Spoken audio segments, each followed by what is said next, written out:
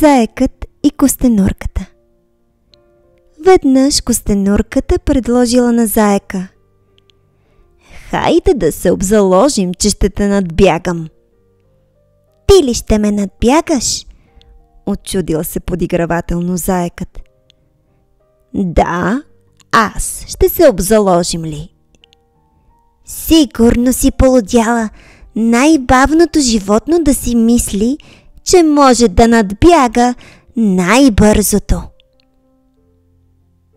Наред съм си с ума, Зайо, и съм готова веднага за състезанието. Стига ти да не се страхуваш, че ще го изгубиш. Стига глупости! Приемам, разбира се. Разбрали се какво разстояние трябва да пробягат. То било толкова късо за заека, че той казал Свикнал съм да бягам много бързо, когато по петите ми са ловджийските кучета, но сега няма защо да бързам, за да победя.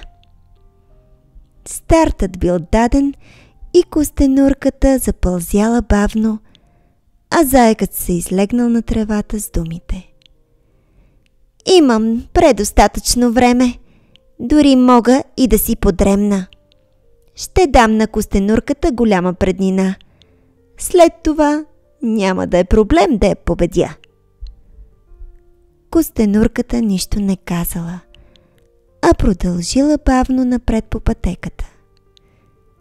Заекът си лежал и едва когато видял, че костенурката наближава финала, скочил и се спуснал в лудешки бяг натам. Но тръгнал твърде късно и костенурката излязла победителка. Тя казала на засрамения заек. Ето, че се оказах права. За да победиш в някое състезание, не е достатъчно само да си бърз. Необходимо е и да тръгнеш на време.